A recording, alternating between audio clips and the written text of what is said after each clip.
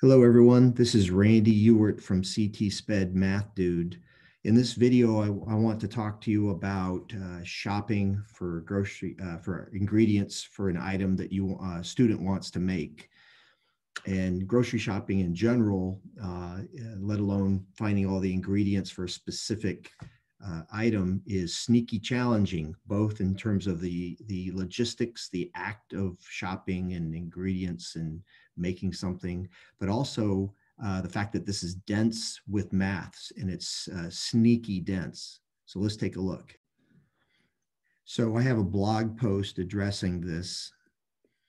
Uh, and this is an excerpt, uh, this photo shows an excerpt from uh, an activity of, of training a student on how to um, find the ingredients and start shopping for the ingredients.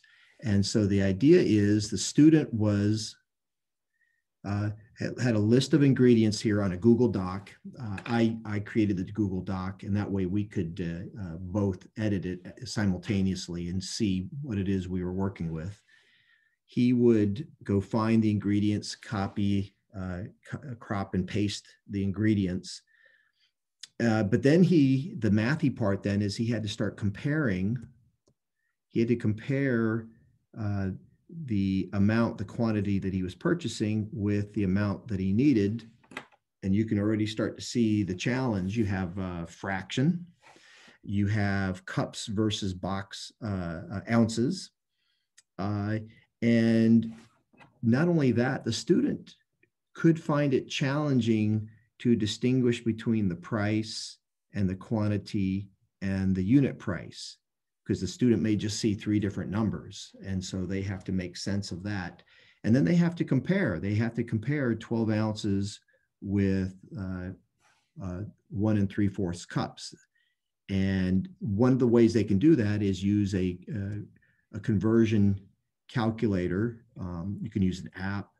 Uh, we chose we chose uh, the Google one. The challenge here is when you uh, search for the Google for the for the uh, unit calculator, and you want ounces to cups, they have to student has to know: Am I going to go ounces first and convert to cups, or am I going to go with cups and convert to ounces?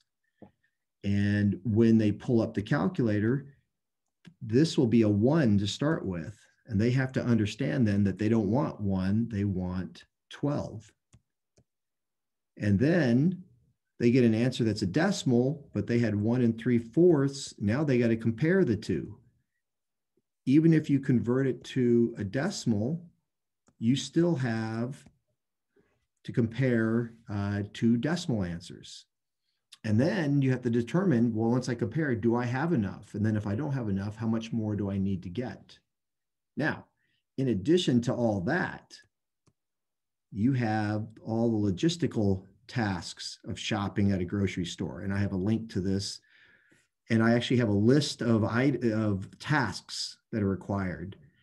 And when I've taken students out to the grocery store, uh, some, some challenges were finding a grocery cart, knowing that you should get a grocery cart or get a, get a, a, basket, uh, knowing where items are. But not only do you have to find the items, but what, you have to know where what aisle the items are on, but then you also have to know where to look on the aisle. And if someone has uh, uh, any type of executive functioning or visual issues, uh, they don't have experience with this, then they're looking on both sides of the aisle, up and down. And then when you find the section, you got to scan up and down and look at all the types and all the different brands and the and and then when you're actually comparing you got to look at like expiration dates and and which brand is better and if there's a sale and what's the unit cost. And this one's bigger it costs more this one costs less but it's you get less stuff.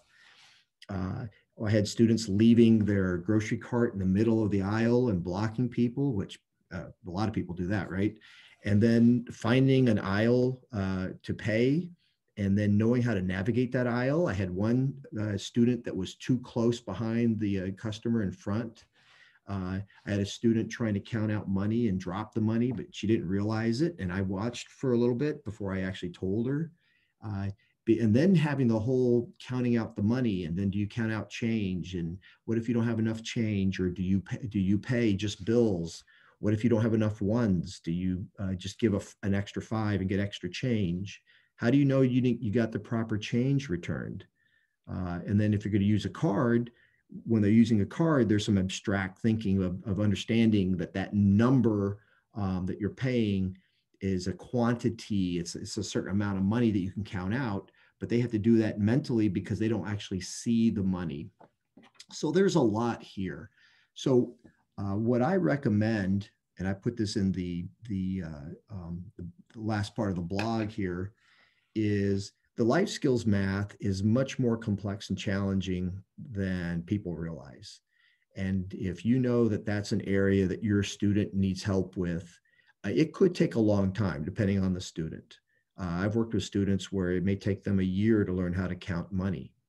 And then if that's the case, imagine then trying to do comparison shopping and all the other dense, uh, uh the dense math uh, tasks that I just described.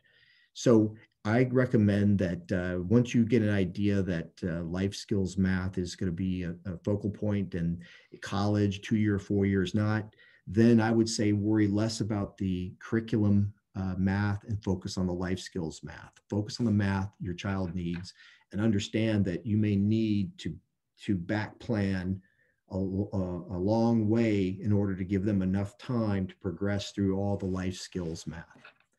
So as always, uh, I wish you well. Good luck with uh, you and your students and see you around.